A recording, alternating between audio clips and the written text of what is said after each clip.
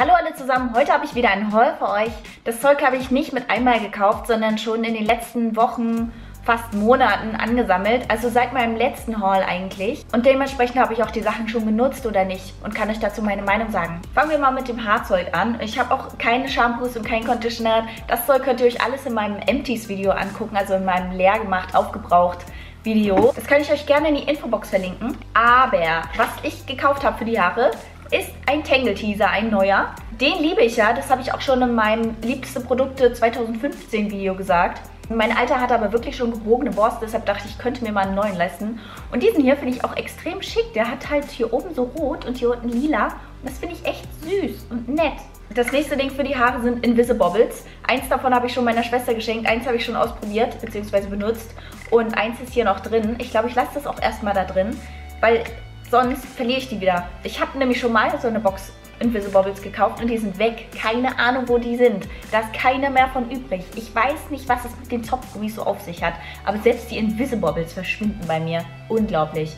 Jedenfalls bin ich froh, diese Teile jetzt wieder zu haben. Ich finde die wirklich gut. Ich mag die Invisibobbles, weil ich das Gefühl habe, dass sie gut wieder zurück in ihre Form springen und nicht übelst ausleiern. Das letzte Haarprodukt ist dieses Serum oder Haarspitzenfluid. Das ist von Lavera Repair Pflege Haarspitzenfluid. Das habe ich noch nicht so viel ausprobiert, das habe ich geschenkt bekommen auch. Das ist ohne Silikone mit Biorose und pflanzlichem Keratin. Sollte ich vielleicht mal benutzen. Meine Haarspitzen sind nämlich immer ein bisschen brüchig, vor allen Dingen halt, weil ich die ja geblondiert hatte. Das zweite ist halt Alkohol hier drin, ne? Weiß nicht, ob das so cool ist wie Haare. Gehen wir mal über zu Skincare und da habe ich mir eine neue Sache gekauft. Das hier ist das Alverde Clear Anti-Pickel SOS Serum mit Heilerde. Das hat eine leicht bräunliche Farbe, aber das sieht man eigentlich überhaupt nicht auf der Haut. Ich trage das dann abends auf und zwar hatte ich tatsächlich in letzter Zeit ein paar Pickelchen und auf die habe ich dann aufgetragen und am nächsten Morgen waren die so gut wie weg. Und das fände ich echt erstaunlich, wenn ein Produkt sowas schafft. Ja, deshalb würde ich dem auf jeden Fall volle Punktzahl geben, wenn ich Punkte verteilen würde. Diese Kneipp-Cremedusche habe ich mir gekauft. Das ist die Duftrichtung Sinnliche Verführung. Und das war lange mein absoluter Favorite. Das ist ein warmer Duft. Sehr ähm, cremig, pudrig würde ich sagen.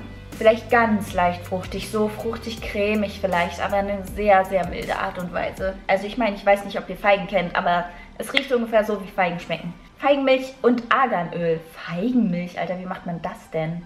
Also wenn ihr auf so sinnliche Düfte steht, dann kann ich euch das hier nur empfehlen. Das habe ich bei McGuides gefunden. Das gab es früher auch mal, glaube ich, in der Drogerie, aber jetzt findet man das eher schwieriger. Also ich finde McGuides sowieso hat öfter mal solche komischen Restpostenteile, die gar nicht so schlecht sind. Hier halt so Kneipp-Duschteile. Ich habe diese Altera reichhaltige Körpercreme gekauft. Davon habe ich ja schon mal die Gesichtscreme benutzt. Davon benutze ich auch immer die Shampoos. Und die Handcreme habe ich mir beim letzten Haul auch gekauft. Das hier ist halt die reichhaltige Körpercreme für sehr trockene Haut. Ich weiß nicht, warum sie das für sehr trockene Haut empfehlen würden. Ich finde nicht, dass es dafür geeignet ist. Ich finde nämlich, das ist eine sehr, sehr leichte Textur. Ich kann euch das gleich mal demonstrieren. Das ist halt so eine weiße Milch oder Creme. Und man reibt. Und ich meine, ich weiß nicht, ob ihr das seht, aber die ist jetzt schon quasi weg. Das war's verteilt und weg. Also ich meine, leichter geht's nicht, oder? Also man kann sich sofort anziehen danach.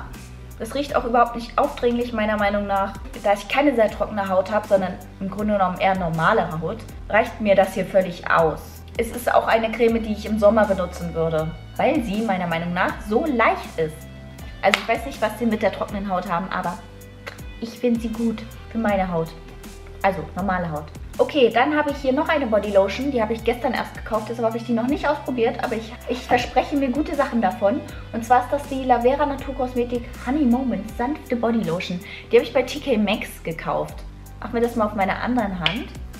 Ähm, ist nicht viel dicker. Vielleicht ein bisschen dicker als die andere. Oh doch, warte mal. Hm, sie duftet herrlich nach Honig. Wirkt äh, reichhaltiger, würde ich sagen. Doch, ja. Also ich habe das Gefühl, die pflegt sehr schön. Wow, nice. 3,99 hat mich die gekostet beim TK Maxx. Da kann man eigentlich gut mal hingehen und auch bei den Pflegeprodukten gut stöbern. Nicht nur bei den Klamottskis. Auch bei TK Maxx habe ich mir dieses SOS After Sun Fluid gekauft. Ich dachte, so ein SOS After Sun Fluid kann man eigentlich immer mal im Haus haben. Und ich habe halt gerade keins.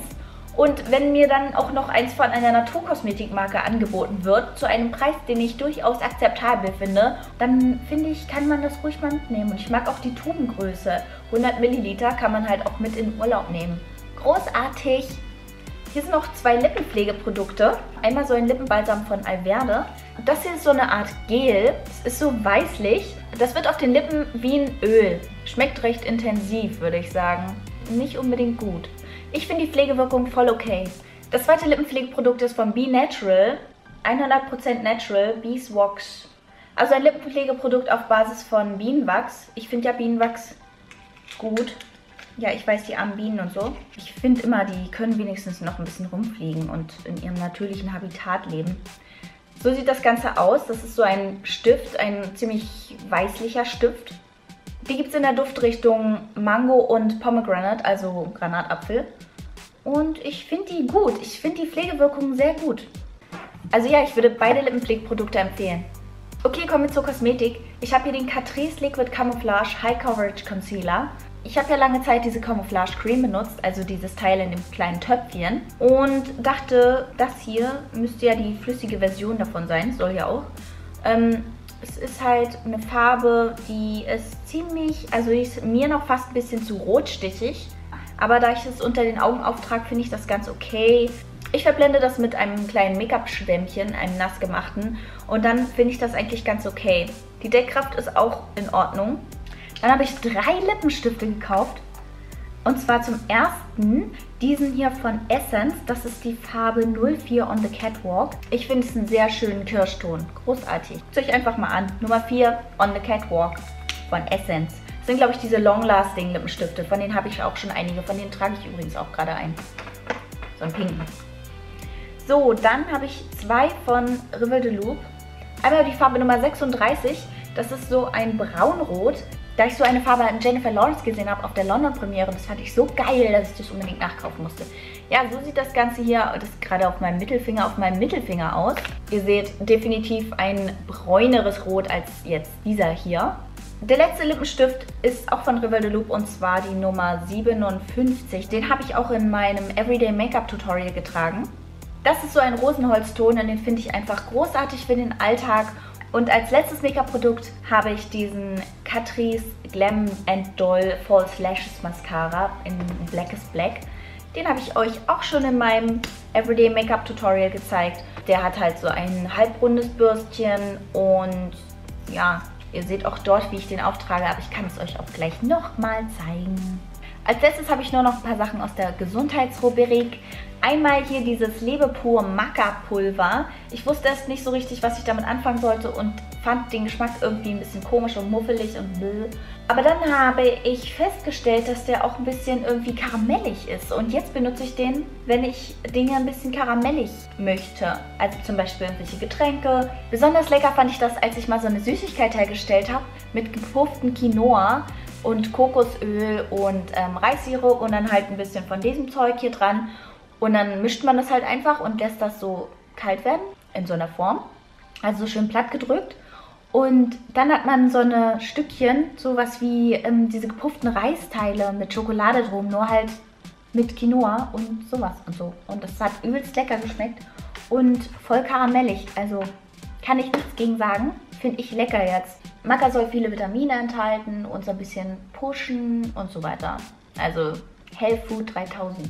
Dann habe ich ein paar Tees mitgenommen und zwar auch nur Gesundheitstees, also hier Leber- und Gallentee. Meine Mutti hat so ein bisschen Leberprobleme. Ich finde, wenn jemand aus der Familie oder dem näheren Umkreis krank wird, beschäftigt man sich irgendwie automatisch mit dieser Krankheit oder irgendwie fragt sich, oh mein Gott, könnte ich das haben? Vor allen Dingen, wenn es halt die eigene Mutter ist.